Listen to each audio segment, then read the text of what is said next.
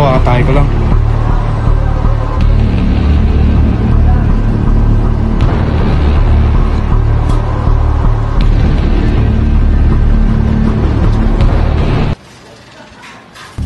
Uy, bagong baril. Saan kaya kuha ng pang-battle pass?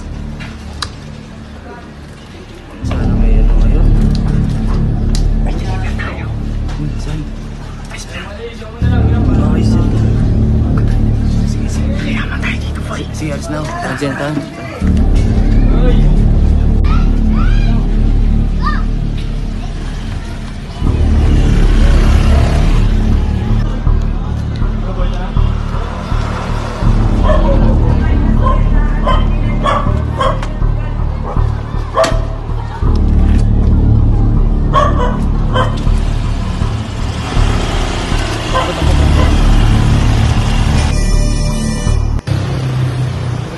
checkpoint.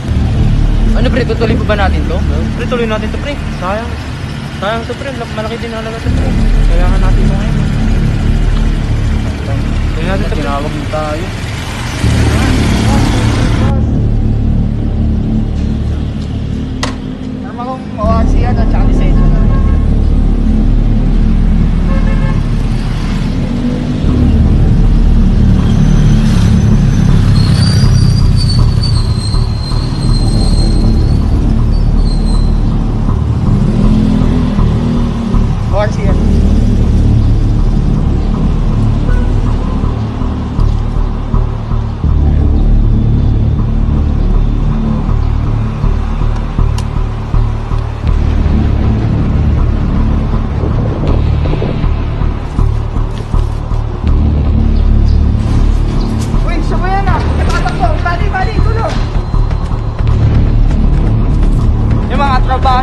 Nyo, kalokohan nyo ha. Ka dito, tatakbo ka pa eh.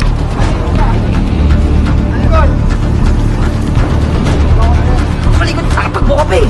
Dito, bali mo helmet mo, bali mo.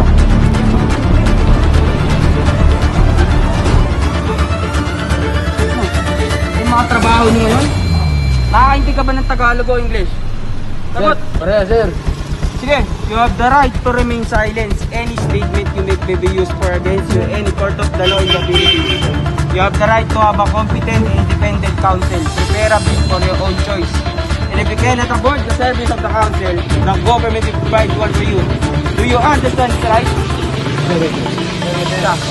Bulilyaso kayong dalawa.